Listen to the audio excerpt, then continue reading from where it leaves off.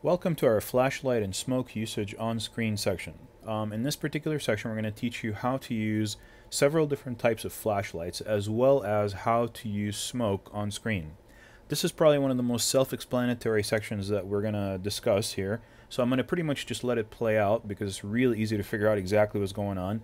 We're just going to use um, five different flashlights and show you what they're going to look like on screen and the fact that if you don't have any smoke, essentially you're just not going to see any light coming out of that flashlight. You're going to see the effect of it, you're going to see it lighting somebody's face, but you won't see the beam, which is very, very important for it to be sold as being a real flashlight lighting somebody inside of a room. And it's going to be most prevalent when it's shining in the direction of the camera.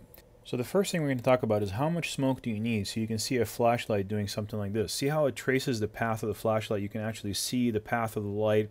Um, it's more cinematic. It feels right. It feels like, you know, when the police are kind of breaking into a room and they're going to, you know, look for the bad guy, the, the, flashlights are going all over the place. What do you need to make this?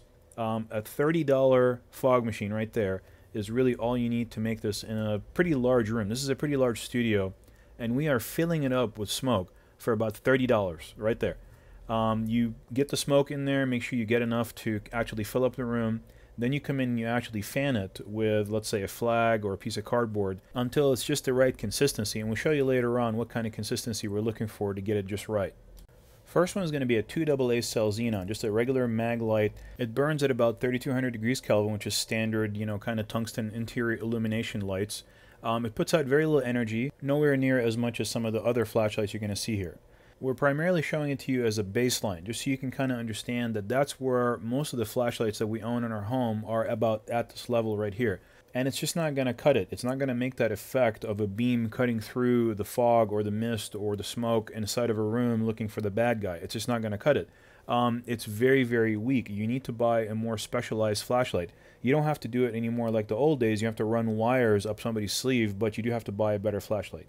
This is a 2CR123A cell 5 LED flashlight.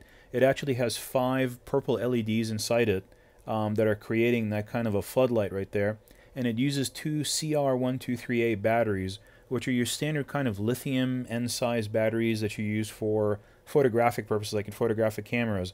They are some of the most efficient, most powerful batteries that you can buy. However, they're very, very expensive. They're about $5.99 a piece. And you need two of them to power a flashlight like that for about, let's just say, 10 hours or so.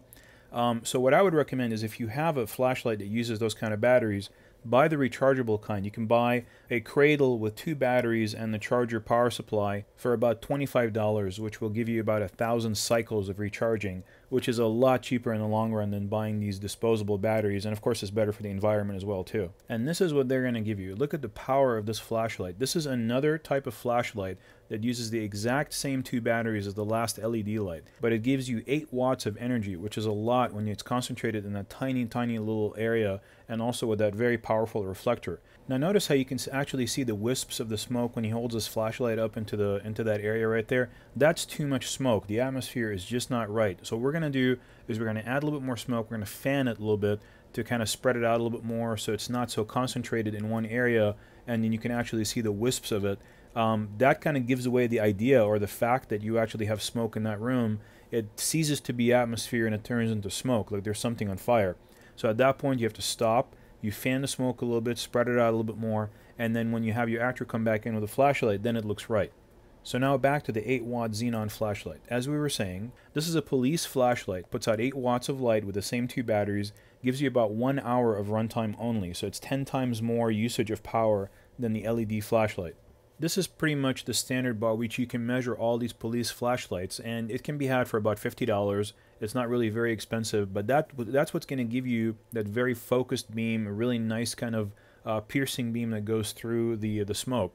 However, you can also get a 1 watt LED light like this one, which puts out, I mean, seemingly a lot of energy as well too, or you can get the 3 watt version of the same light, uh, but this one lasts for 40 hours. So it is 40 times more efficient than that 8 watt LED and also the 3 watt version of this will put out almost as much illumination, as many lumens as the 8 watt xenon police flashlight which is 3200 degrees Kelvin.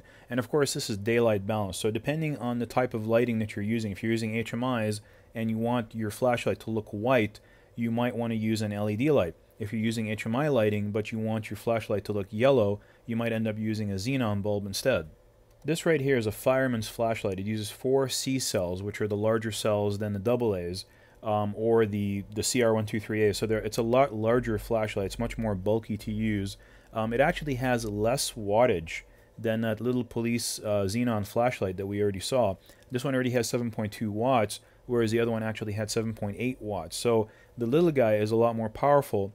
The major difference, of course, is that this one has batteries that will last a lot longer than that little police flashlight, but it is a lot more bulky. Make sure that if you're going to use flashlights and you want to get that kind of police look in the frame, get the smaller one, the one that's 7.8 watts and has batteries that only last for about an hour because it's going to give you a much more focused, tight beam that looks a lot more realistic and also is a lot less bulky for the actor to use. And he doesn't have to have, to have cables running up his sleeve anymore like they used to in the old days, uh, going to a battery that's sitting on his belt or something like that.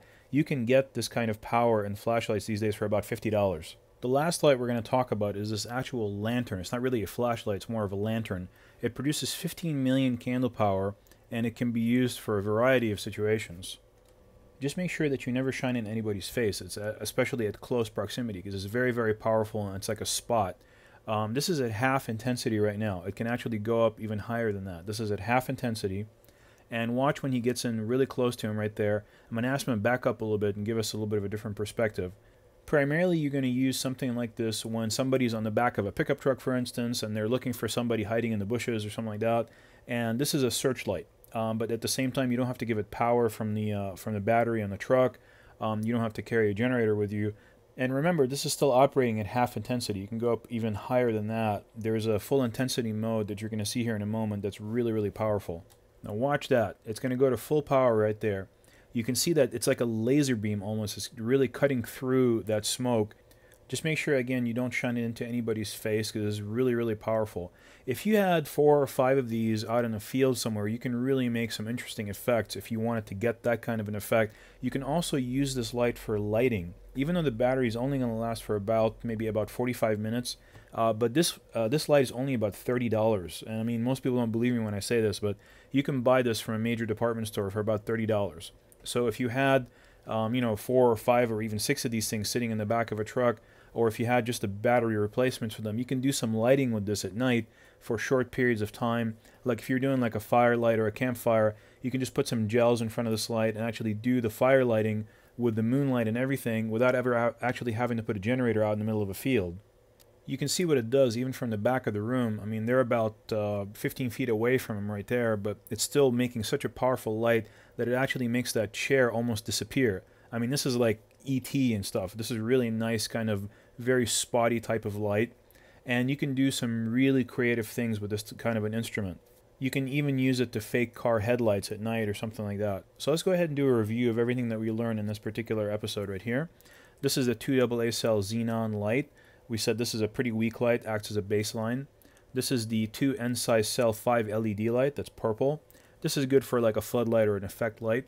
This is the 2CR123A 8 watt xenon, standard police flashlight against which all must be measured. This is the 1 watt Luxeon LED flashlight, which is also available in a 3 watt version. This is a 4C fireman's flashlight, has a broader beam and the batteries last a lot longer, but it's much bulkier. This is a searchlight, 15 million candle power. You can use it for lighting or as a searchlight at night. This is at full intensity, 15 million candle power, very, very powerful light. It's also extremely affordable. It's only about $30. And that'll wrap up our flashlight section.